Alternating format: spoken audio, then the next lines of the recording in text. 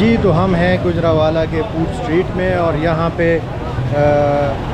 मशहूर जो है चिड़े उसको हम ढूंढ रहे हैं कि वो कहाँ पे अवेलेबल है। तो किसी ने बताया कि इस रोड के बिल्कुल एंड पे अवेलेबल है तो वहाँ पे जाते हैं और आपको भी दिखाते हैं। तो यहाँ पे एक भाई के पास खड़े हुए हैं ये कुछ बेच रहे हैं क्या है? भाई ये क्या है? सिंगाड़े दिखाओ ना ज़रा करीब करके ये क्या अच्छा ये क्या चीज़ होता है? जोड़ों वगैरह के लिए ठीक होता है। तो भाई कहते हैं जिनके जोड़ों में दर्द है तो सिंगाड़ा खाए तो इन ठीक होगा। तो चेक करते हैं चेक कराए ना।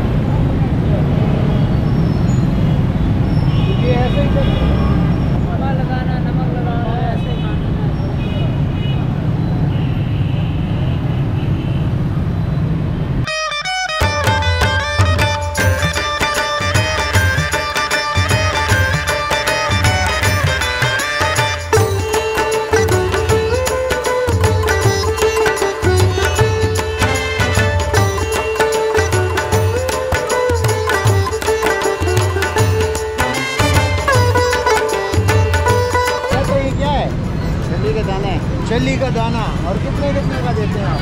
बीस का है, ये बीस वाला दे, बीस वाला दे। बीस वाला हाँ एक दे दे बस। टेस्ट करते हैं कि आपका क्या जाएगा ये है जी चली का दाना। चली का दाना चेक करते हैं कि कैसे जाएगा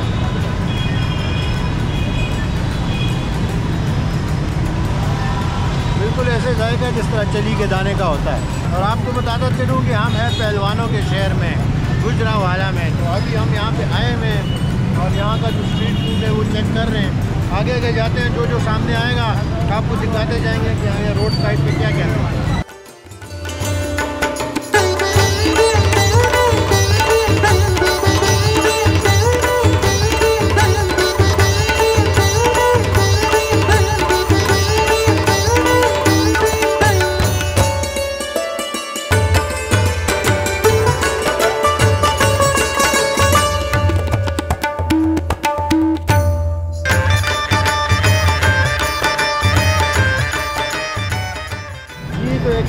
रुके हैं और ये है आलू छोले तो अंकल के आलू छोले चेक करते हैं कि कैसे जाएगा है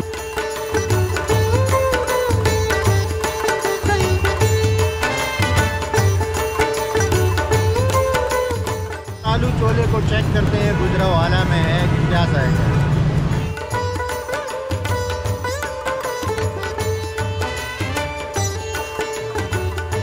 बहुत ज़बरदस्त जायका है और स्पेशली जो इसमें ये स्पाइसेस डाले गए हैं और चटनी चटनी का जायका बहुत ज़बरदस्त है। जब भी आप आएँ तो यहाँ पे चाचा के पास मिलता है ये तो आप खा सकते हैं बिल्कुल रोड साइड पे।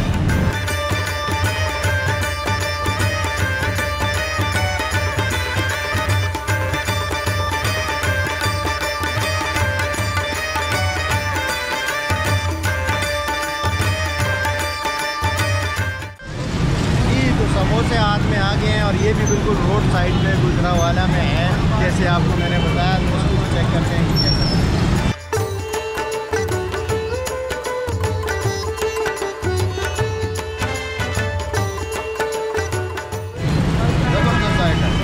जी तो ये गुजरावाला का काफ़ी मशरूफ बाज़ार लग रहा है।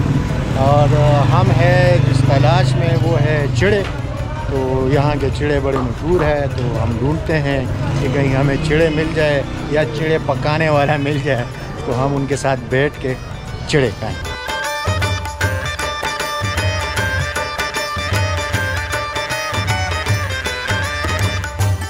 जी तो फाइनली ढूँढने के बाद हमें वो शॉप मिल गई है, जहाँ से हमने चिड़े खाने यानी कि बटेर खाने चिड़े खाने दोनों अवेलेबल अभी भाई से पूछेंगे कि ये कैसे बनाते हैं?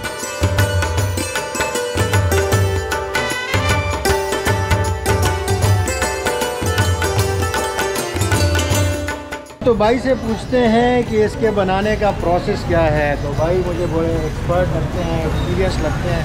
तो पूछते हैं भाई क्या प्रोसेस है इसके बनाने का? ये ना ब्रदर ब्रदर ये होता है कि इसकी पहले ना वो करते हैं हम। मसालों में इसकी निकालते हैं यखनी बनती है फिर इसको मसाले में लगाते हैं अभी मसाले लगा के छोड़ देते हैं, छोड़ने के बाद फिर हम इसको दोबारा रेसिपी तैयार करते हैं। फिर मसाले में और यखनी में हर जगह में तैयार होता है ये ताकत वाली चीज़ होती है, क्योंकि ये फार्म का नहीं होता, ये ओरिजिनल चीज़ होती है। है इसमें अपनी ताकत है अपने विटामिन है हर चीज़ लिहाज से देता है। ये तो कितना टाइम लगता है इसको पकने में? तकरीबन समझ लें कि तीनों घंटा डेढ़ डेढ़ लगता है इसकी तैयारी में ना हमें। तो इसको पहले सारी तैयार करना होता है वाश करना होता है मसाले लगा के फिर रखना होता है फिर जाके इसकी रेडी ना होती है तैयार। भाई अगर कोई आएगा तो क्या एड्रेस है आपका? ये भाईजान है मेन सियालकोटी दरवाज़ा। उसके अंदर आएँगे तो मामा जी चिड़े पटेल वाले। है और ये मेन रोड से है? मेन रोड से है, बिल्कुल। तो आप शहर के अंदर अंदरूम में है आउट ऑफ़ नहीं है।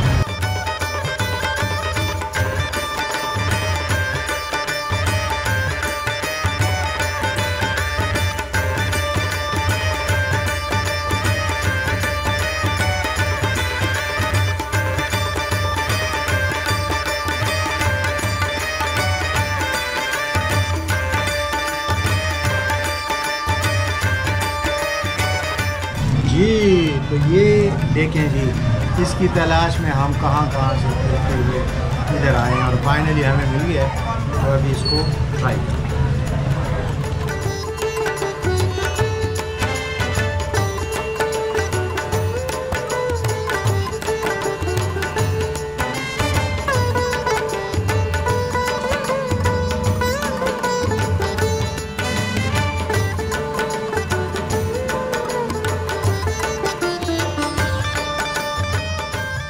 बहुत ज़बरदस्त, क्योंकि बड़ा अरसा हो गया, जब छोटे होते थे तो कभी खाने को मिला था हमें। जायका बहुत अच्छा है और भाई ने मेहनत भी बड़ी की है पकाने में। तो मैं रिकमेंड करूँगा गुजरा वाला में मिलता है आप आ सकते हैं।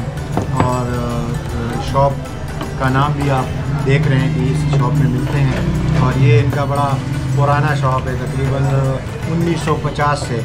इन भाई का लिखा हुआ है कि कायम शुदा है तो मोहम्मद की शरीफ। बहुत अच्छा जायका है। तो साथ में इसी का सूप भी हमें मिला है तो इसको भी चेक करते हैं।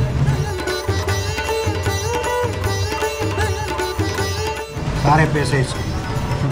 और बाकी तो आपको पता है कि आपने आगे क्या करना है।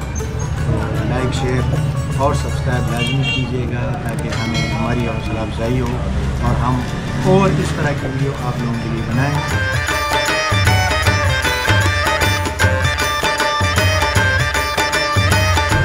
ये तो जब आप इतना स्पाइसी गाना गाएँ तो उसके बाद कुछ मीठे की ज़रूरत होती है तो हम यहाँ पे आए हैं, भाई फालूदा बना रहे हैं तो फालूदा ट्राई करते हैं और आप